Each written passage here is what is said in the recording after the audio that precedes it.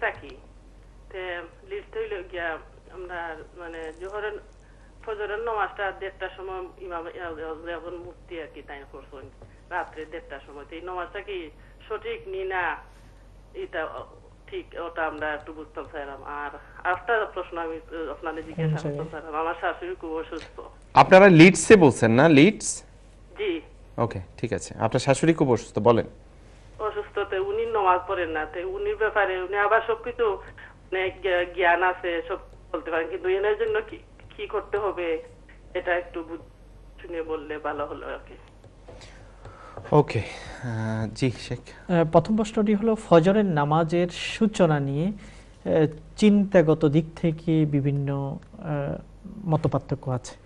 যেমন ইউকের বিভিন্ন মুসলমানরা বিভিন্নভাবে এটাকে পর্যবেক্ষণ করে। মূলত এই ব্যাপারে কারও এক দ্বিমত নেই যে ফজরের নামাজ আমাদেরকে পড়তে হবে সুবহে সাদেক হলে। যখন সত্য সত্যিকার অর্থে মর্নিংটা বের হয়ে আসে সকাল প্রভাতটা বের হয়ে আসে তখনই ফজর আমাদের উপর ফরজ। এর আগে নয়। এখন মর্নিংটা কখন বেরিয়ে আসে? এইটা নির্ণয়ে কত ডিগ্রি ধরা হবে? থার্টিন থেকে টু টুয়েলভ থার্টিন থেকে আরম্ভ করে এইটিন ডিগ্রি পর্যন্ত বিভিন্ন মতামত আছে। এই জন্য কোথাও অনেকেই খুব আর্লি নামাজ আদায় করেন কোনো কোনো জায়গায়, কোনো কোনো স্কলারদের মধ্যে আবার অনেকে দেরিতে করেন। এই জন্য যদি কোনো স্কলার আপনার এরিয়াতে, আপনাদের স্থানীয় মসজিদের যারা কর্তৃপক্ষ আছে স্কলারদের মতামত অনুযায়ী তারা যেটা সাব্যস্ত করবেন, ওইটা অনুযায়ী আপনার নামাজ আদায় করবেন।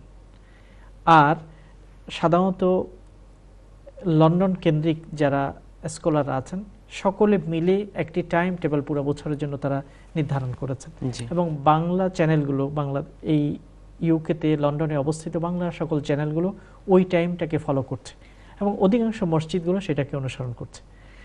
এই কারণে আপনার প্রশ্নটি আপনার উদ্বেগের বিষয়টি আমাদের কাছে অত্যন্ত সুস্পষ্ট বিশেষ করে রমদান আসছে এই বিষয়টা আরও প্রকটভাবে দেখা যাবে যে কখন সেহরি বন্ধ হবে কখন নামাজ ফজরের আদায় হবে এটা নিয়ে বিভিন্ন কমিউনিটির মধ্যে যেমন গুজরাটি কমিউনিটি তারা একটা জিনিস ফলো করছেন এবং পাশাপাশি বাংলাদেশি কমিউনিটিরা অন্য আরেকটা ফলো করছেন। একটু দ্বিধাদ্বন্দ্ব হবে কিন্তু ইনশাল্লাহ আমরা মনে করি যে এটা যেহেতু এই ইজতেহাদগত মত পার্থক্য চিন্তাগত মত পার্থক্য, এটার মাধ্যমে ইনশাল্লাহ যে যেটা অবলম্বন করছেন, ওইটা অনুযায়ী স্থির থাকতে হবে, একটাই অবলম্বন করতে হবে এবং ইনশাআল্লাহ আল্লাহ তালার কাছে এটা গ্রহণযোগ্য হবে। দ্বিতীয় প্রশ্নটি আপনি করেছেন, শাশুড়ি অসুস্থ, তিনি, তার জ্ঞান আছে, হুঁশ হুঁশ আছে, কিন্তু তিনি নামাজ পড়তে পারছেন না, এই অবস্থায় কি করা? আমাদের যেটা উপদেশ থাকবে ইসলামের শরিয়ার নিয়ম হলো যতক্ষণ পর্যন্ত জ্ঞান, হুঁশ আছে, ততক্ষণ পর্যন্ত তার উপর নামাজের অব্লিগেশনটা থাকবে। তার উপর নামাজ পড়াটা ফরজ। এখন তিনি যদি দাঁড়াতে না পারেন, বসে পড়বেন। বসে না পারলে শুয়ে পড়বেন। যদি রুকু, সেজদা, ইশারাও করতে না পারেন, তাহলে চোখের চোখের যে পলক আছে, সেটাকে নাড়াচাড়ার মাধ্যমেও তিনি ভিতরে ভিতরে নামাজ আদায় করবেন। এই জন্য আপনারা যারা তার সেবা শুশ্রূষা করছেন তার পরিচর্যা করছেন আপনাদের দায়িত্ব হবে যে তাকে অজু করিয়ে দেওয়া, অজু করার সামর্থ্য না থাকলে তাকে তায়াম্মুম করিয়ে দেবেন এবং তাকে বলবেন যে আপনি মনে মনে আপনি নামাজ আদায় করেন। তার সামর্থ্য অনুযায়ী। এটা করাটা আপনাদের দায়িত্ব।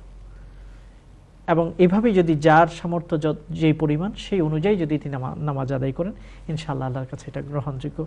লা ইউকাল্লিফুল্লাহু নাফসান ইল্লা উসাহা।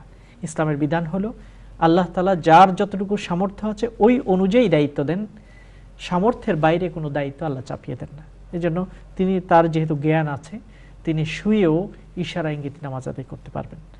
একান্তই যদি তিনি নামাজ আদায় করতে না পারেন, পরবর্তীতে যখন যদি তার সুস্থ হওয়ার সম্ভাবনা থাকে, সুস্থ হয়ে যান, তখন তিনি সেগুলোকে কাজা আদায় করবেন, সেগুলোকে পরিপূর্ণ করে দেবেন। আর এই অবস্থায় যদি তিনি দুনিয়া থেকে চলে যান, তখন অনেক হানাফি স্কলারদের মতামত হলো, প্রতিটি ওয়াক্তের নামাজের জন্য সম্ভব হলে তারা যেন একটা করে ফিদি আদায় করে, যেটা সৎকাতুল ফিতির একটি ফিতরার যে দাম প্রতিটি ওয়াক্তের জন্য ওইরকম একটি ফিতরার দাম গরিব দুঃখীদের মধ্যে বিতরণ করাটা তার দায়িত্ব হবে। তবে এই পর্যায়ে এখনও যেহেতু তিনি বেঁচে আছেন, হুঁশ আছে, আমি যে পরামর্শটি দিয়েছি, সেটাকে আমল করার আপনারা চেষ্টা করবেন ধন্যবাদ।